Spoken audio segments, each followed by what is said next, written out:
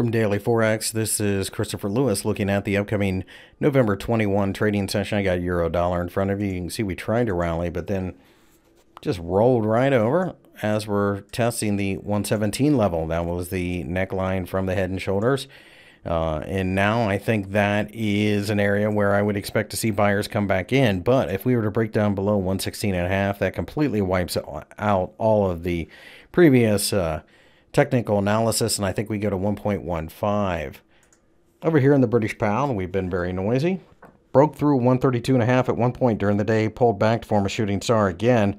Um, 133 and third has me buying. Otherwise, I'm looking for exhaustion to lead us right back into consolidation. Mark Carney and the uh, uh, members of Bank of England testify in front of Parliament uh, as to inflation today. So I expect a lot of noise.